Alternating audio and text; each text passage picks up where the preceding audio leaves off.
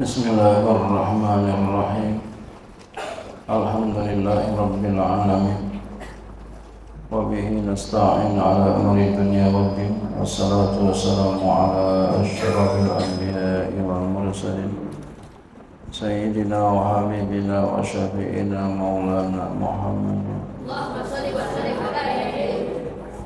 وعلى آله وصحبه أجمعين سبحانك لا علم لنا إلا ما علمتنا إنك أنت العليم الحكيم ولا حول ولا قوة إلا بالله العلي العظيم أما بعد قال مسلم رحمه الله تعالى وأدام نفع في علوم في دارين آمين Walau ikhtalafa dan jikalau berselisih Aida inu maksudnya orang yang ya memberikan hutang wal madinu dan orang yang berhutang. Berselisih keduanya. Fi annahu pada bahwasannya hal wakala au ahala. Apakah dia ya mewakilkan atau hawala? Ya. Apakah dia ini masih bicara tentang hawala nih Bian kolal madinu dengan bahwa berkata orang yang berhutang orang yang berhutang ngomong wakal tuka litakbidha li. Orang yang berhutang ngomong aku telah menjadikan engkau sebagai wakil supaya engkau mengambil untukku. Supaya engkau menerima untukku kalau juga begitu ini maksudnya apa nih? Ngomong seorang yang berhutang sama siapa ngomongnya? Sama si muhtal. Ya. Kemarin kita udah berikan gambaran tentang muhil adalah orang yang memindahkan utang. Ya. Muhtal orang yang ya piutangnya terpindah aturan kepada muhil menjadi muhal alaih. Muhal alaih adalah orang yang kepindahan membayar utang. Ya, kalau muhil orang yang pindah orang yang memindahkan utangnya. Aturan utangnya masih muhtal menjadi ya ya aturan dia bayar utangnya sama si muhtal ya si mu'il suruh bayar ngambilnya utang itu sama si muhal alaih. Karena si muhal alaih ngutang sama si mu'il ya. jadi terjadi pembicaraan ini antara mu'il dengan si muhtal gitu ya. Jadi bi an al madinu dengan bahwa berkata oleh orang yang berhutang. Dia ngomong sama siapa? Ama muhtal kata si mu eh, kata si mu'il kata orang yang berhutang ya mu'il kan dia berhutang. Sama si mu'tal. Dibilang begini saya telah wakilkan engkau saya telah jadikan engkau sebagai wakil agar engkau menerima atau agar engkau mengambil untukku ya. Faqala da'inu lalu berkata oleh orang yang utang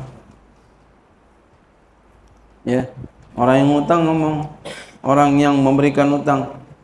Siapa? Si muhtal bal ahal tani bahkan engkau menjadikan aku sebagai ya bahkan engkau telah menghiwalahkan.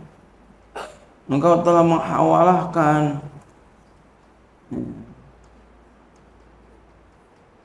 Engkau telah pindahin utang engkau kepada saya uh, utang engkau kepada saya kepada muhal alaih ya. Awqal madinu atau berkata oleh orang yang berhutang ahal tuga. Ahal tuga aku telah hawalahkan kepada engkau. Ya. Aku hawalahkan kepada engkau. Nah, ini kata ya, orang yang yang ngutang, orang yang ngutang. Faqala da'inu lalu berkata oleh yang berhutang oleh orang yang memberikan hutang bal wakal tani bahkan engkau angkat bahkan engkau jadikan aku sebagai wakil.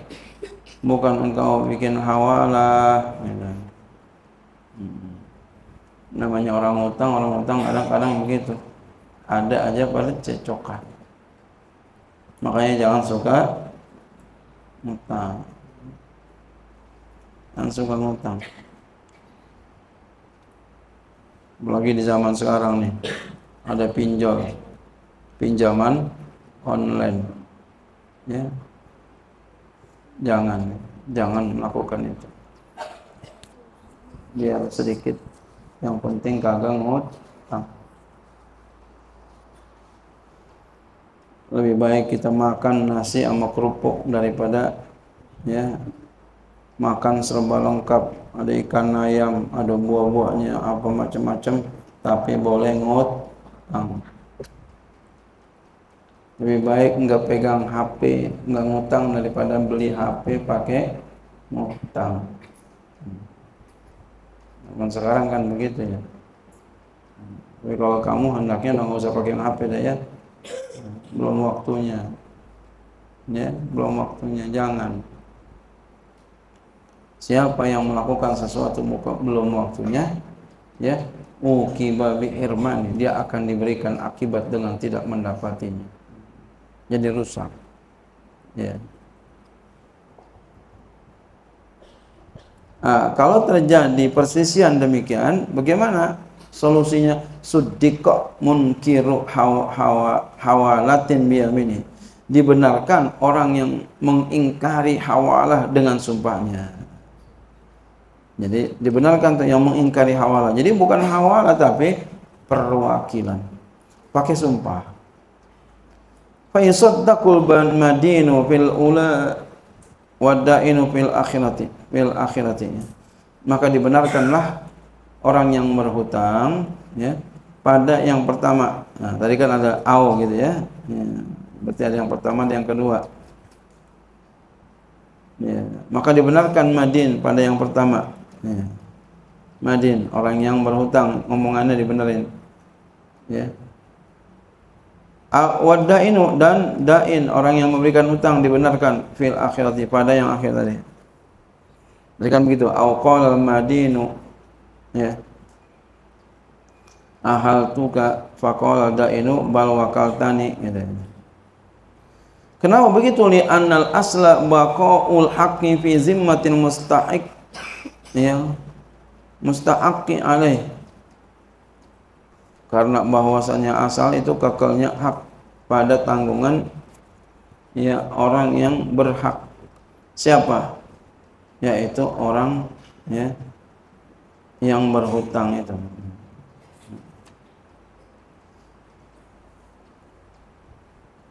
Ya yang ya kalau dia ngomong yang pertama kalau apa kalau dia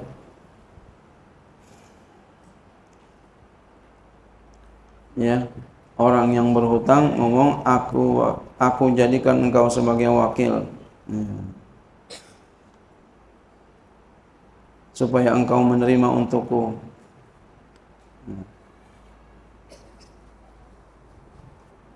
dia bilang begitu tadi ya jadi yang benar adalah ya yang mengatakan perwakilan bukan hawalah tatimatun ini satu penyempurna. Ya sih usah awalah ya. Min uh, sah ya. Menanggung ya. Sah min mukallafin rasidin. Ya sah menanggung daripada mukallaf yang pinter pandai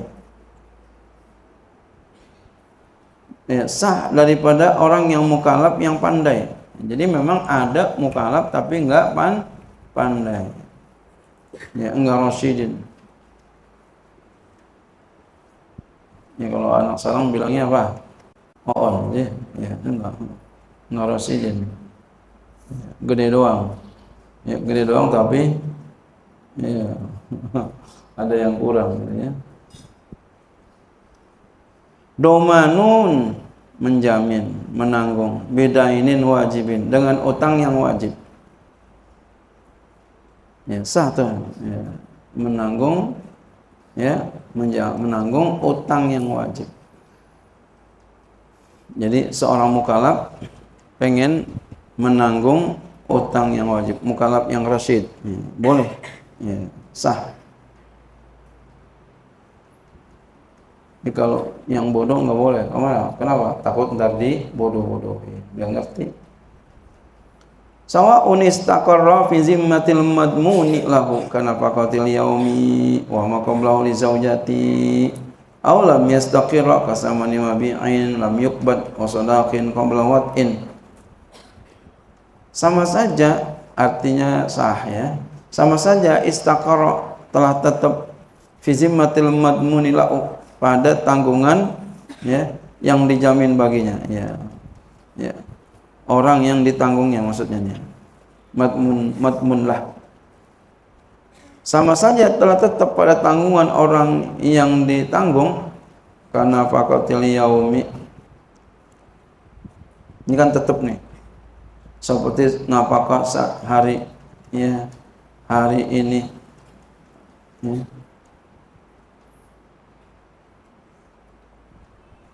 wa ma qablahu li zaujati dan apa yang sebelumnya bagi istrinya. Ya, nafkah sebelumnya bagi istri yang sekarang hari ini atau yang kemarin. Nah, ditanggung.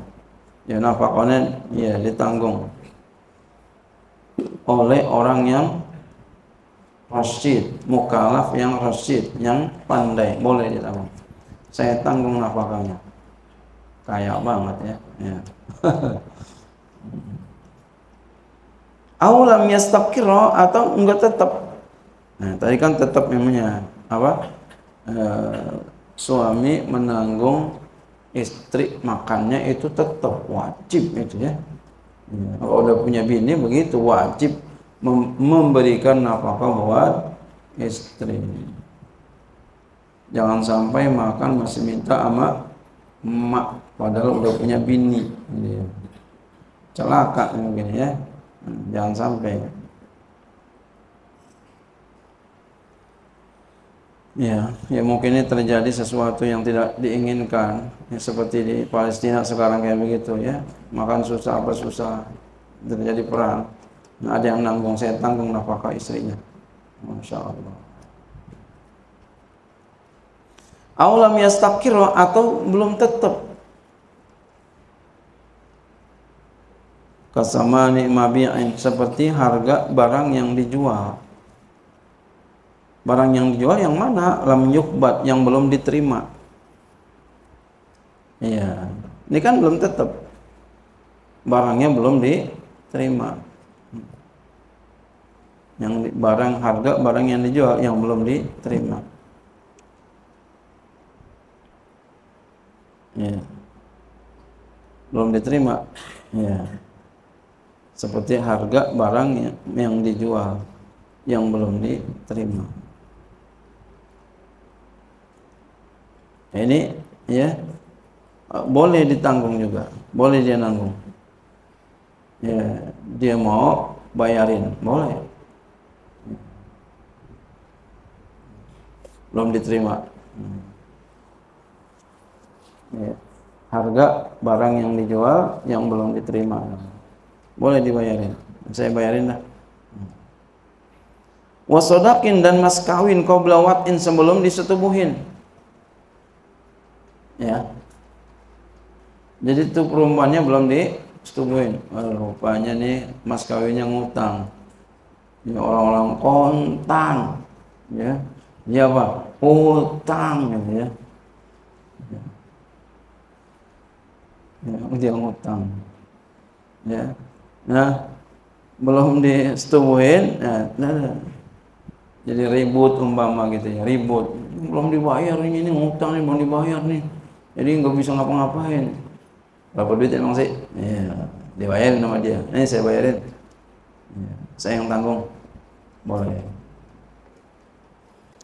Lah bima saya jibu tidak dengan sesuatu yang akan wajib Nah, jadi kalau yang akan wajib nggak boleh. Kadai ini kordin seperti utang ya minjem kord. Utang kord. Ya apa tuh? Bagaimana seperti umpama dibilang pinjamkan olehmu akan ini 100 pinjamin nanti 100 saya yang jamin. Itu nggak boleh katanya ya. Ini ada beda pendapat ulama. Ada yang mengatakan begini boleh. Kaul yang absor ya. Ya. Kaul yang auja ya. Dalam fatul jawab itu boleh. Kasih pinjam. Saya yang ganti. Nah, kalau di sini beliau nggak boleh. Ya. Kaul yang lain bolehin.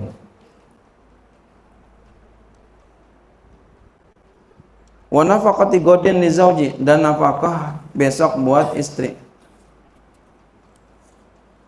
Istri saya besok kagak makan saya yang tanggung ini nggak boleh. Ya nggak boleh nih ya. cari dulu. Ya, tanggung tanggung orang aja. Jadi takutnya cintanya berpindah lagi ya.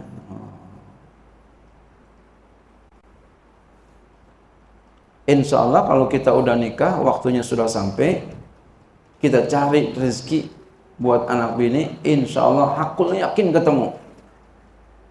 Ya, tapi kalau enggak mau cari, ya, kalau enggak mau cari, ya, kagak bakal ketemu. Kalau enggak mau cari, enggak bakal ketemu. Walaupun memang kalau Allah takdirkan ketemu, ketemu.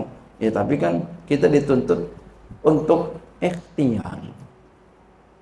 Kita dituntut untuk ikhtiar oleh Allah. Usaha. La wala bi nafaqatil qaribi dan juga enggak boleh dengan nafkah kerabat. Enggak boleh juga tanggung. Saya tanggung kerabatnya mutlakon secara mutlak. Maksudnya apa? Yang kemarin maupun yang akan datang nafkahnya. Enggak enggak. Ya. Wala istaratu ridha ini wal madini tidak disyaratkan tuh yang namanya menanggung ya menjamin akan ridho orang yang ya memberikan utang ya dan orang yang berhutang. Wasahat dan sah. Domanu raqiqi bi izni saidi. Menjamin budak dengan izin tuannya. Ya. budaknya saya jamin ya. Saya kasih makan saya tanggung. Ya. Kata yang punya budak alhamdulillah. Ya. dikasih mata wallahu a'lam